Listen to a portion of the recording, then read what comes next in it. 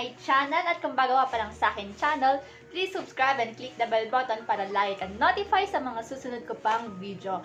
Ayan, so for today's vlog, ayan, wala akong makeup, so kakahilamos ko lang, kakabrush ko lang.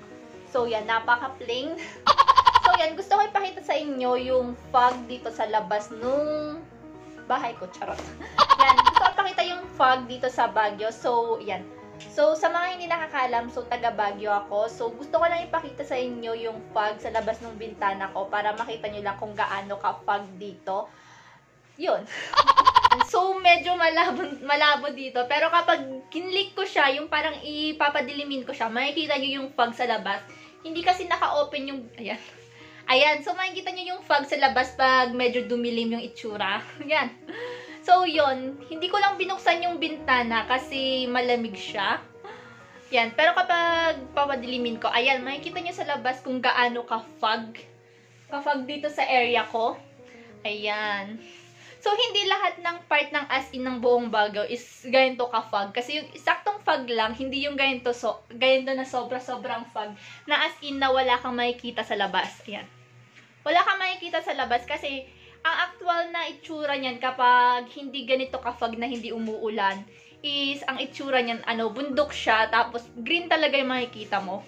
So maraming kahoy, maraming puno makikita mo diyan. Pero ngayon umuulan kasi ngayon kaya ganyan sobrang fog siya tapos yun. so yan, gusto ko lang i-share sa inyo, pakita sa inyo yung itsura nung ano itsura nung fog. Kung gaano ka fog dito sa tinitirahan ko. Ayan. So, yun.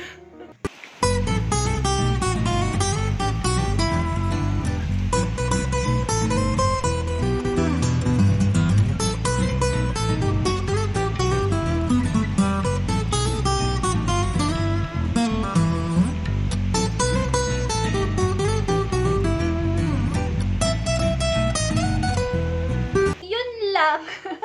I hope na sana nagustuhan nyo yung video na yon.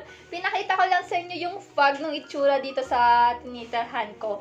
Kasi, yun. Kasi kapag umuulan dito, as in parang wala kang makikita, wala kang makikita sa paligid dahil super gray talaga siya, na as in super fog talaga. Pero kapag hindi naman umuulan, tapos ano, basta yun, maaraw, ang makikita mo talaga sa labas is mabundok siya.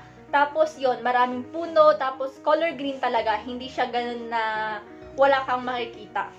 So, I hope na sana nagustuhan mo tong video na to at kung bago ka pa lang sa akin channel, please subscribe and click the bell button para like and notify sa mga susunod ko pang video. So, see you next on my next vlog. Bye-bye!